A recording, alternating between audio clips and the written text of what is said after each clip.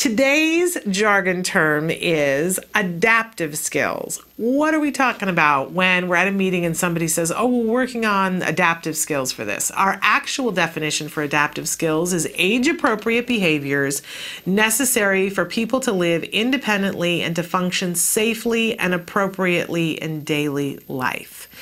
All right, that's a pretty good definition, um, and it's pretty accessible for us. We can see, all right, this is these are the kinds of things, but let's take it down a notch to see specifically what are we talking about. For our working definition, it is real life skills such as grooming, dressing, safety, safe food handling, school rules, ability to work, money management, cleaning, making friends, social skills, and personal res- responsibility.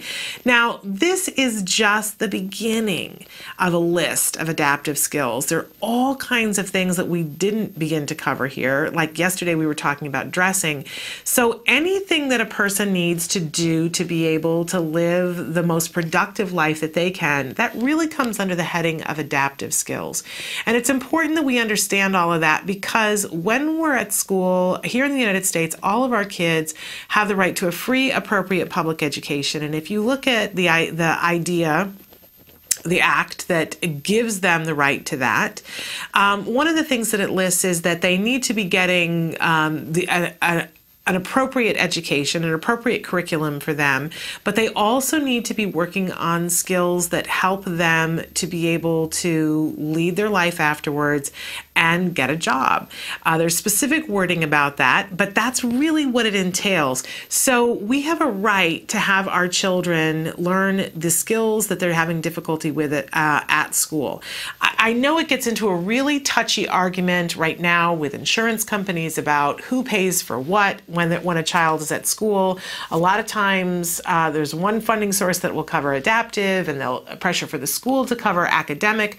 I want us all to remember. Let's let's get our funding sources where we can, but we can go to schools looking for help with adaptive skills. It's written into IDEA.